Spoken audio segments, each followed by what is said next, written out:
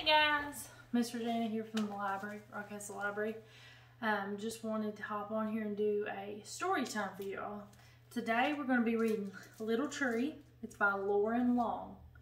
called Little Tree. I Figured since we were getting towards fall and the leaves were starting to turn, be a good book for us.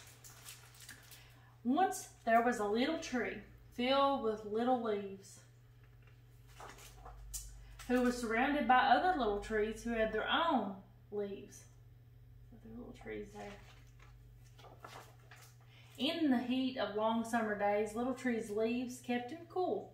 The squirrels would climb up on his branches to play. The mourning dove landed in him and sang her fluty song.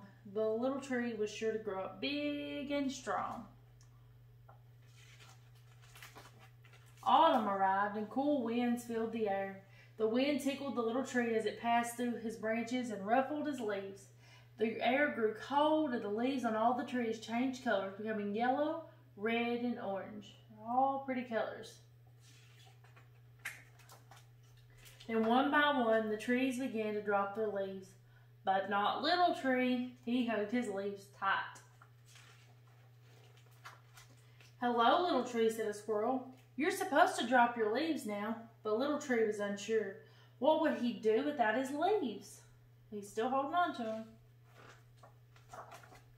Winter came. What are you doing with leaves still on you? asked the doe. Little Tree just hugged his leaves tight. Springtime arrived and the little forest burst into life again. The other trees grew bright new leaves. The squirrels played in their branches. Little Tree could hear the mourning dove singing her fluty song. Her little tree. Still hasn't let go of those leaves.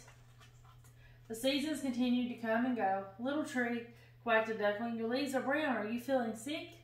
A fox said, Little tree, it's autumn. It's time for you to drop your leaves.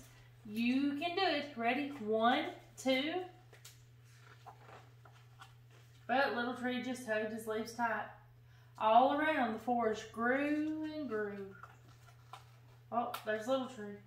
One summer, Little Tree could no longer feel the sunlight. The squirrels played high above on the broad, tall trees, and the mourning dove sang so far away that he could hardly hear her fluty song. There he is down there, and all the other trees that grew up. Autumn came again. Leaves began to blanket the ground. Little Tree looked up at the other trees at their branches reaching high into the sky. He remembered when the trees had all been his size. And then he let go. All the leaves are falling. As his last leaf floated to the ground, for the first time, Little Tree felt the harsh cold of winter. But in time, he grew and grew. Something happened. Once there was a little tree. But he grew. And he got tall, and you can see he's standing with all the other trees. He just had to let go of those leaves, didn't he? I hope you guys enjoyed uh, Little Tree, and we'll try to come to you again for another story time soon. Um, just a reminder, the library, the Rockcastle Public Library, we are still doing to-go craft kits for the kiddos. You can request those once per week. Um, stop by and pick those up. Um, for the kids. And um, we'll, you can also follow and like our library Facebook page, Rockcastle County Public Library. Find us on Facebook. And you can get updates about us there. Um, we try to keep everything posted there. We hope you guys are doing good. Everybody take care and see you next time.